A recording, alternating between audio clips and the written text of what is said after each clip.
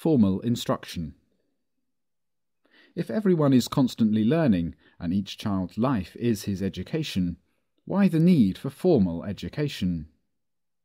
The need for formal instruction stems from the fact that a child's faculties are undeveloped and only potential, and that they need experience in order to develop. In order for this exercise to take place, the child needs the environmental materials on which he can operate and with which he can work.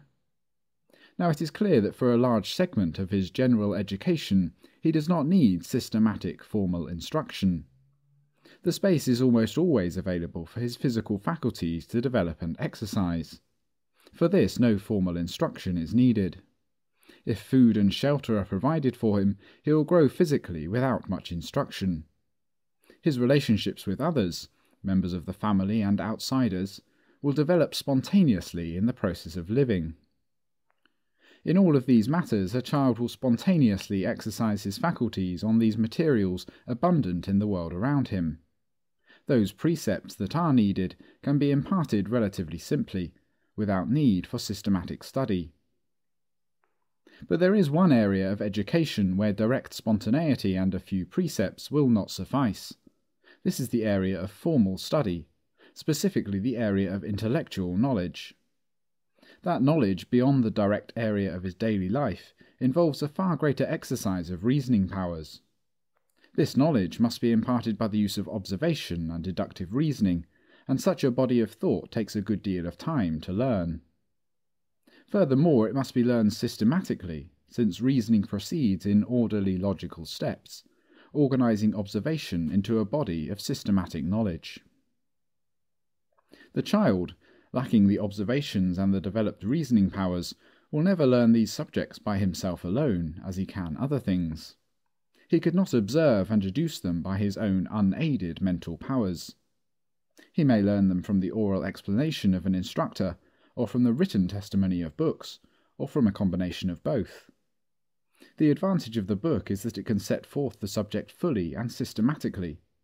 The advantage of the teacher is that, in addition to previous knowledge from the book, he knows and deals with the child directly, and can explain the salient or unclear points. Generally, it has been found that a combination of book and teacher is best for formal instruction. Formal instruction, therefore, deals with the body of knowledge on certain definite subjects.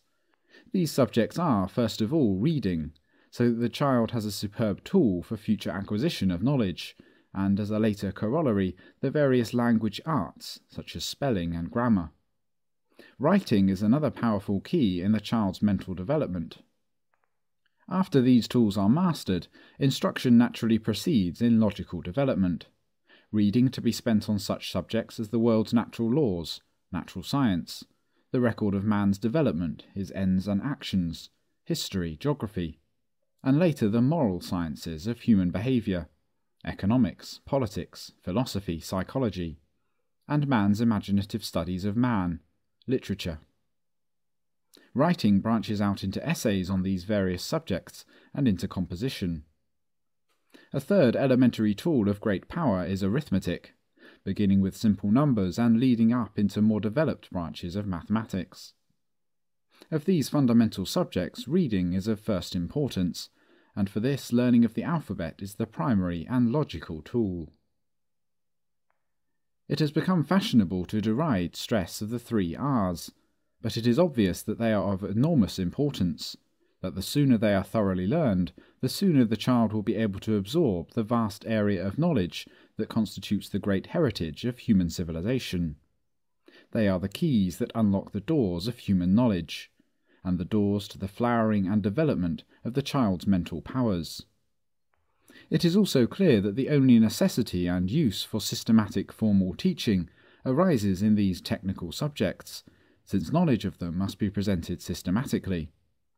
There is clearly no need for formal instruction in how to play, in getting along with the group, in selecting a dentist, and the multitude of similar courses given in modern education.